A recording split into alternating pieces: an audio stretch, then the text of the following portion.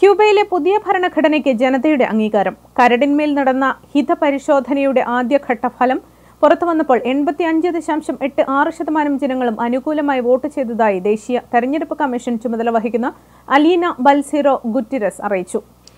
ഞായറാഴ്ച നടന്ന ജനഹിത പരിശോധനയിൽ രാജ്യത്തെ എൺപത്തിനാല് പോയിന്റ് ഒന്ന് ശതമാനം പൌരന്മാരും വോട്ടവകാശം വിനിയോഗിച്ചു. ഒരു ശതമാനം വോട്ട് അസാധുവായി. ലോകമെമ്പാടുമുള്ള നൂറ്റി മുപ്പത് ക്യൂബൻ എംബസികളിൽ കഴിഞ്ഞ പതിനഞ്ചിനാണ് വോട്ടെടുപ്പ് നടന്നത്. മറ്റ് രാജ്യങ്ങളിൽ പോലീസിന്റെയും സൈന്യത്തിന്റെയും നിയന്ത്രണത്തിൽ ജനഹിത പരിശോധന നടത്തുമ്പോൾ ക്യൂബയിൽ വിദ്യാർത്ഥികളാണ് ബൂത്തുകളിലെ ചുമതല വഹിച്ചത്. പൊതുയോഗങ്ങളിലൂടെ രൂപീകരിച്ച ഇരുന്നൂറ്റി ഇരുപത്തി ഒമ്പത് ആർട്ടിക്കിളുകളുള്ള പുതിയ ഭരണഘടനയുടെ കരട് ഡിസംബറിലാണ് ക്യൂബൻ നാഷണൽ അസംബ്ലി പാസാക്കിയത്. International desk Magnavision.